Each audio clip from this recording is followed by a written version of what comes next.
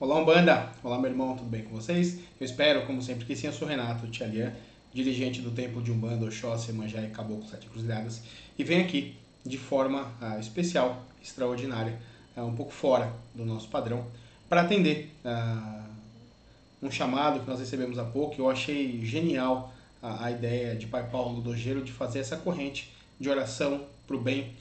dedicando, intencionando a todos os profissionais da saúde então, a nossa ideia aqui, uh, e sigo uh, de acordo com a sugestão de Pai Paulo Dogeiro, e também já convido os demais uh, youtubers de Umbanda, ou mesmo irmãos de outras religiões, que se reúnam agora, que gravem, que tragam as suas orações para todos os profissionais que estão lá na linha de frente, nos amparando, nos protegendo e cuidando dos enfermos nesse momento de tanta dificuldade, de tanto desconhecimento do que está acontecendo. Enfim, então lá com toda a força, com toda a fé possível. Então, para vocês, meus irmãos, essa nossa essa nossa oração que vem do fundo do coração. Então, ah,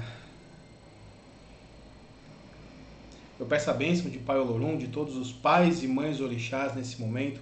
de todos os guias, mestres e mentores espirituais de nossas casas, de nossos terreiros, de nossos templos religiosos. Peço a bênção do Senhor guia-chefe da minha coroa, caboclo sete encruzilhadas. Peço também, nesse momento tão difícil, peço que Pai Oxalá não deixe faltar a fé, a esperança em cada um dos nossos corações no futuro, num amanhã melhor, que a gente tenha condições de espalhar uma palavra de amor, de amparo, de esperança e de fé para todos aqueles que assim ah, necessitarem. Também peço, com todo o amor, a nosso pai Oxóssi, para que Oxóssi, através das folhas da Jurema, através das ervas da Jurema, através do Juremar, possa nos colocar um bálsamo de saúde, um bálsamo de força espiritual, para que nós tenhamos condições de enfrentar de cabeça erguida, com toda a esperança, com toda a fé, com toda a força e com o máximo de conhecimento possível.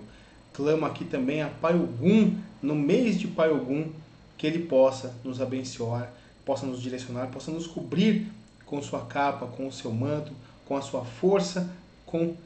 o fato de ser tão destemido num amanhã melhor. Peço, por fim, a todos os pais e mães orixás, rogo a Ti, meu Pai Obaloaê, que nós possamos encerrar, esgotar este ciclo para darmos nisto a um ciclo muito mais próspero, de muito mais fé, de muito mais união, de muito mais saúde que nós possamos sair desse momento, todos os pais e mães orixás, sem deixar nenhum de fora,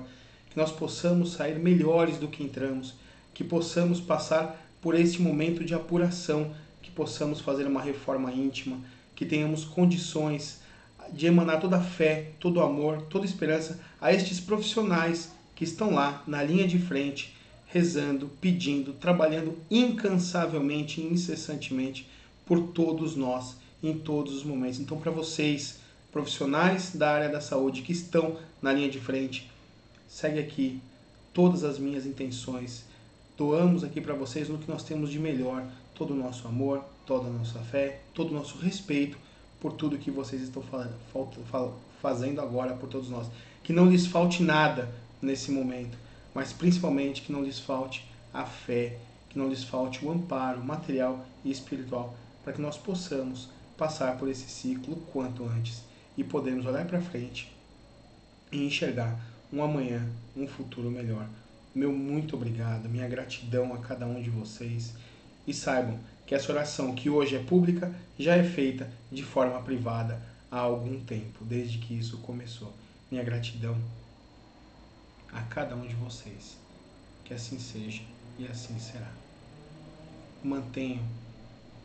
a força, mantenham a fé, mantenham a esperança e saibam que nós aqui, dentro das nossas limitações, estamos fazendo tudo o que é possível, materialmente e espiritualmente, para que não lhes falte amparo, para que não lhes falte força, para que não lhes falte fé. Minha gratidão, meu axé, meu saravá, e um grande, um grande, um grande, um grande abraço.